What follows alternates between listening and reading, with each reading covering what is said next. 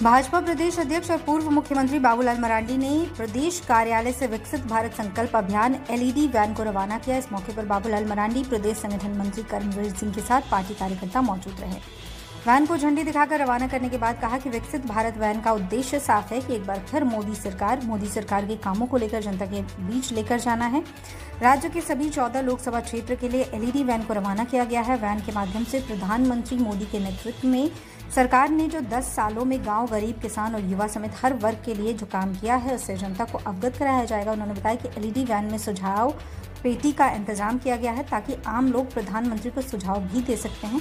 Party से लोग सीधे तौर पर जुड़ सके, इसकी व्यवस्था एलईडी वैन में देखिए, सभी लोकसभा क्षेत्रों को आज रवाना किया गया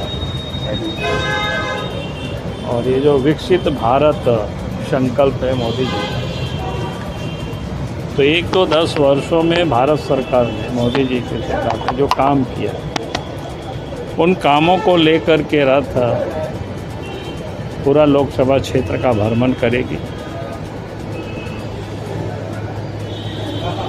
ताकि लोगों को ये जानकारी मिल सके किस प्रकार से इन दस वर्षों में गाँव, गरीब, किसान, मजदूर, महिलाओं के लिए सरकार ने काम किया। है और देश को कैसे आत्मनिर्भर बनाने के लिए जो इन दस वर्षों में जो प्रयास इन सारी चीज़ों को लेकर के जनता के बीच रथ जाएगी। और साथ ही आगे, मैंने उसमें मिस कॉल भी लोग जो मिस कॉल करके भी लोग जोड़ सकते हैं मोदी जी के साथ। पोर्टल में भी लोग जोड़ सकते हैं।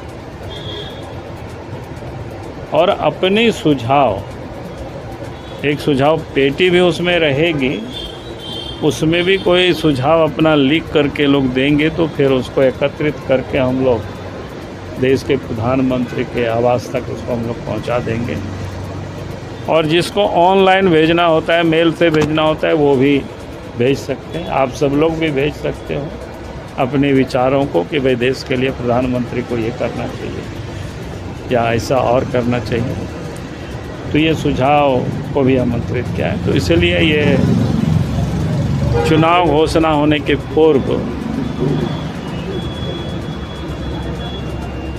ये जो विकसित भारत संकल्प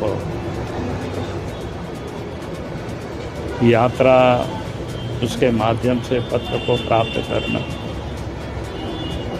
तो ये सब काम है।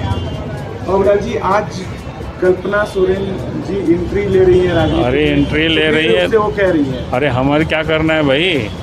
वो एंट्री ले रही तो हमको पूछ रहे हो बड़ा मुश्किल बात।